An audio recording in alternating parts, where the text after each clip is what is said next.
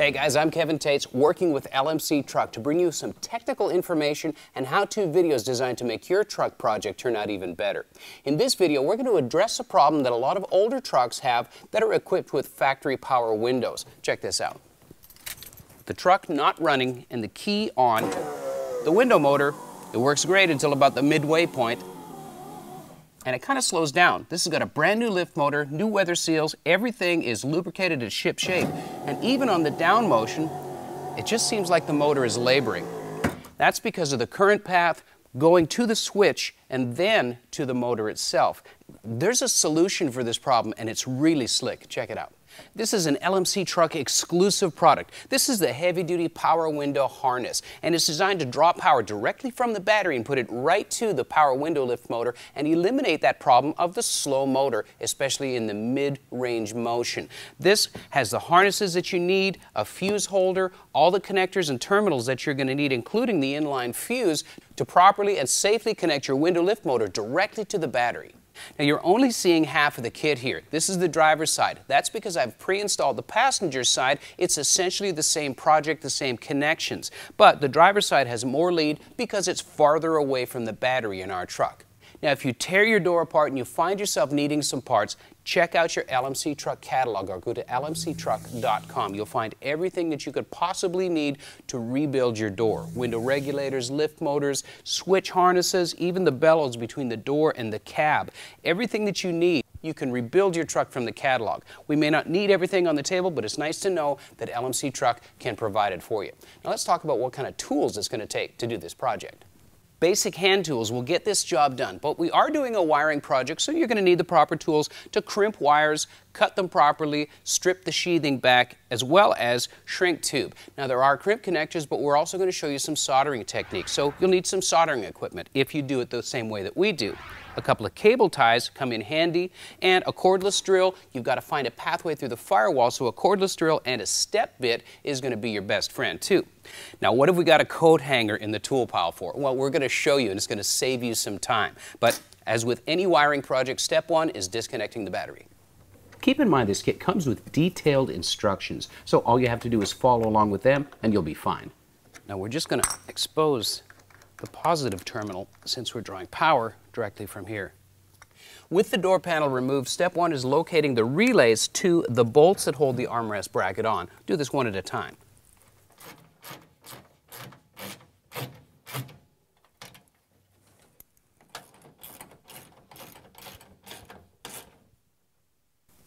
Now the long harness doesn't necessarily always go on the driver's side. Our battery is on the passenger side, so the longer harness goes to the door that's farthest away from your battery.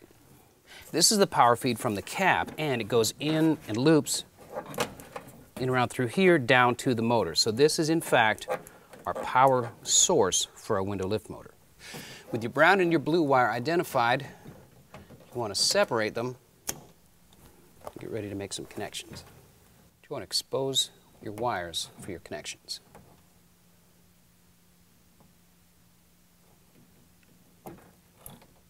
Now the kit provides you with all the butt connectors that you're going to need to finish this project.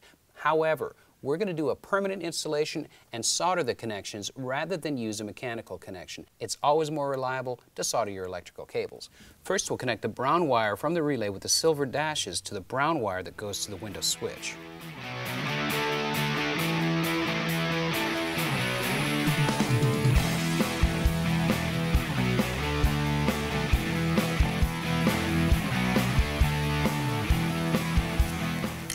Cover up the connection with some shrink tube.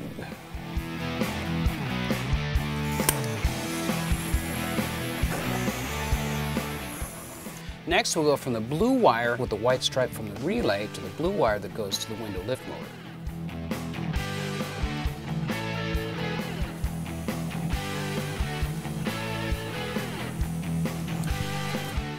Cover the connection with shrink tube.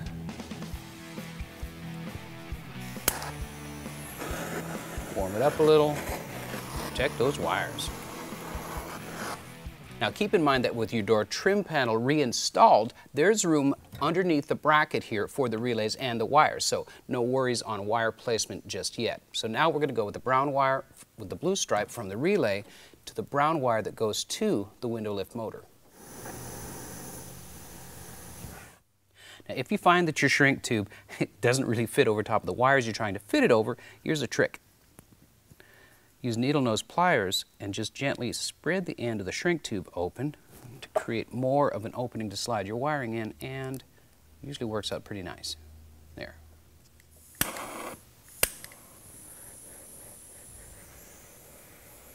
The last connection is the blue wire from the relay.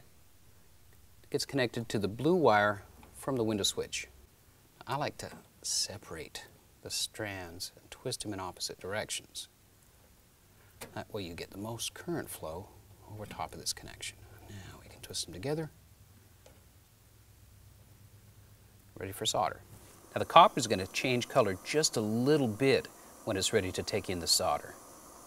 Just like that. It doesn't take much heat with a shrink tube. Just kind of an idea of some heat. You don't want to burn it. You just want to shrink it around. And there we go. Now I like wiring nice and neat, so I'm just going to bundle these wires under here using plastic cable tie. You can get these at any hardware store, parts store, home center. Really nice to have around. Next, we're going to pull the driver's side kick panel off.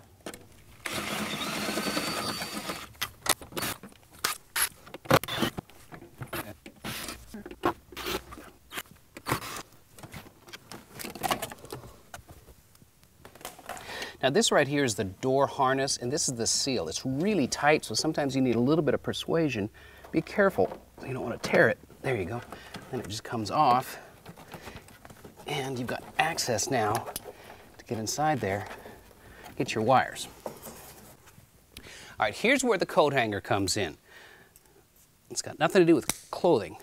What you're going to do, straighten out about maybe that much, about a foot of it. With a pair of needle nose pliers, you want to roll the end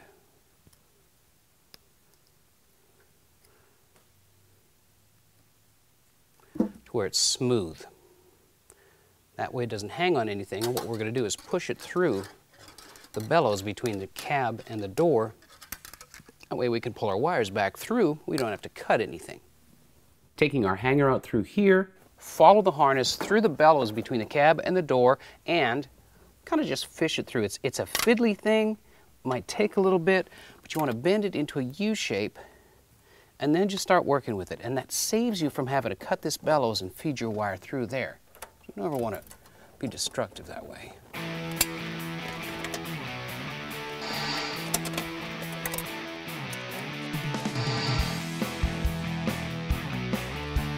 All right, so I got a coat hanger,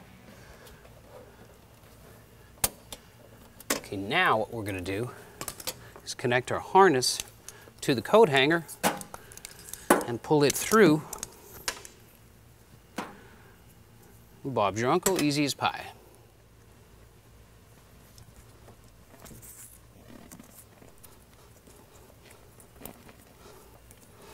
Now we can just feed the wiring through, pulling the coat hanger while you're pushing your wiring harness. there. There it is. I love it. I love it when a plan comes together. Then we just pull the wiring past the kick panel grommet and route the wiring to the battery. Now, we'll button up our harness with some cable ties. Make it nice and neat. Now we're going to take the harness, route it to the firewall, tuck it under the carpet, and go over to the other side because we're going through the firewall from the kick panel.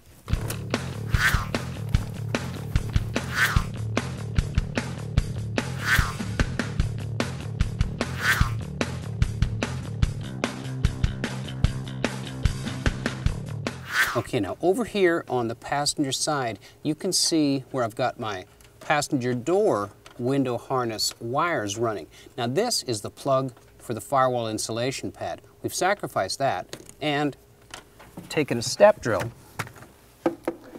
and just drilled out our hole so we've got plenty of room for both wires without chafing the wires. So now it's just a matter of taking our two wires from the driver's door, feeding them up in, and they'll come out on the other side of the firewall, and we'll fish them up through and go straight to the battery. There it is. There's our hot wire. There's our ground. Just push them through. Now we can make our connections. Now the inline fuse gets connected to our hot wire, which happens placing it up inside. You, know, you can hear a click. Okay, now it's firm. Now while we're here, we'll throw a fuse in. It's a 15 amp fuse. We can put this somewhere where we can find it and troubleshoot. LMC provides you plenty of wire to be able to tuck them. We're going to strip the ends get ready for our connections. Hot wire, that should give us plenty of room.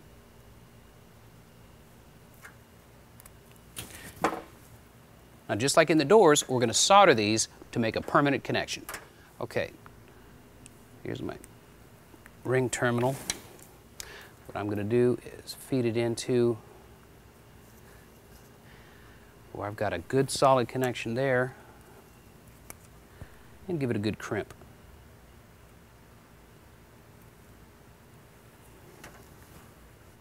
All right, we're to do the same thing with our positive lead. Pull that guy loose. Find a happy home. It's a happy little wire. I love Bob Ross. And find a seat for the good crimp.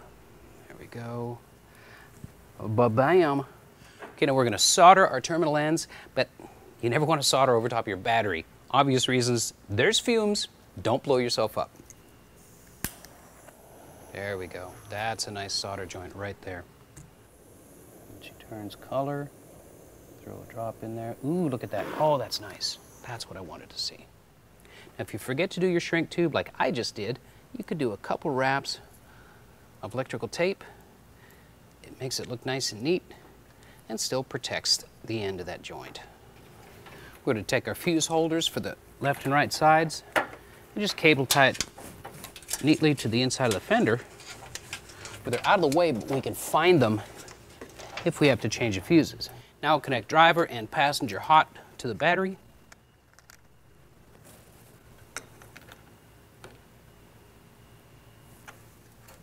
And we'll take left and right grounds to the negative side.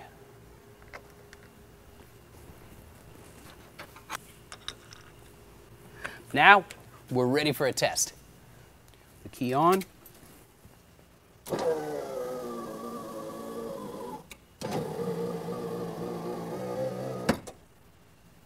That is awesome. That's exactly what we wanted to see. It's smooth in the up operation, smooth in the down operation. There's no dead spot in the middle. And that is precisely what the kit is designed to do. Draw power directly from the battery, and just like a modern vehicle, there's no slowdowns.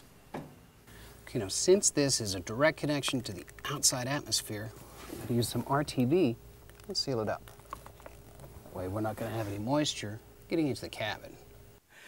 So with a couple of hours of your time and investing in the heavy-duty power window harness, you can really improve the function of your electric windows in a 77 through 87 GM truck. We hope we passed on some common sense wiring skills to you as well. So keep in mind, LMC Truck Catalog at lmctruck.com. There's tons of ways for you to get inspired on how to customize, modernize, or restore your truck. For now, I'm Kevin Tetz. We'll see you next time.